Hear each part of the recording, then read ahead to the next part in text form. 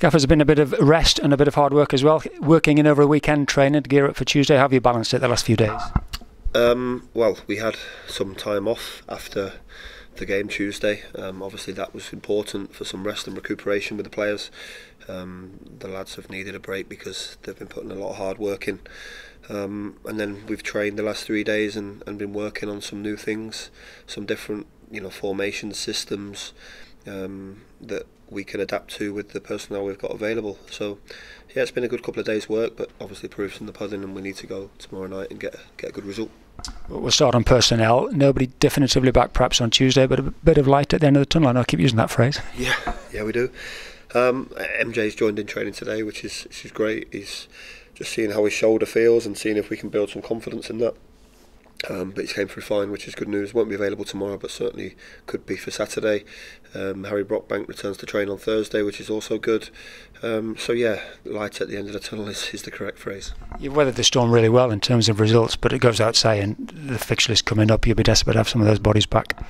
Yeah, we need them. Um, we've we found a way in November. Um, I thought it was quite a positive month after an awful October. Um, I think we've we lost one league game to Wickham and played really well in that game. And then obviously the defeat in extra time at Stockport was was not good enough.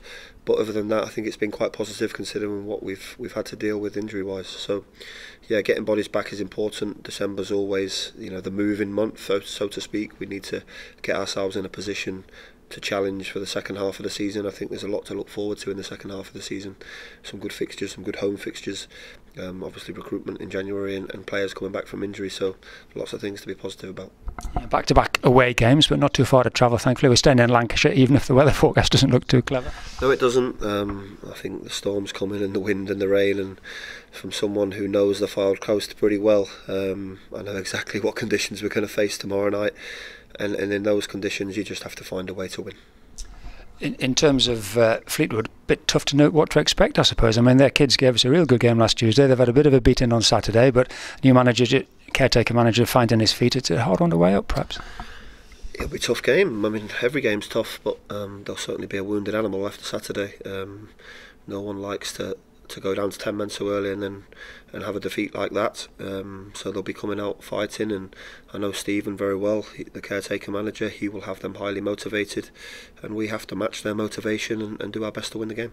Do you feel that the momentum and the form is coming back, though? As you say, we talked about a tough month, but you've had a decent run. You looked potent going forward. Uh, we talked about Kachunga being uh, on fire, you know, the, the, and Zav coming into the side and, and gradually getting fitted. Doyle's back, being back in back in the goals. It just forms coming back for one or two players. It looks that way, um, but we're not going to rest on our laurels. We know we've we want to do more and achieve more, and, and having bodies, more bodies available will help us. Um, as I said, we've got a really busy month it is a moving month in the EFL, and we have to make sure that we are progressing up the table in the right direction, and then giving ourselves something to fight for in the second half of the season. Just lastly, then looking towards the second half of the season, it is the game in time mentality. But we've had the draw for the Papa Johns. You go to Hartlepool in the new year. I'm sure it'll be a chilly start in the northeast. But uh, what are your thoughts on that draw? Well, you'll know that better than anyone. Um, we, uh, yeah, I mean it's it's a good draw, but a difficult draw. Um, Hartlepool have had some success in cup competitions. They've they've took some big scalps, and it's a game that will challenge us, but it's one we're looking forward to.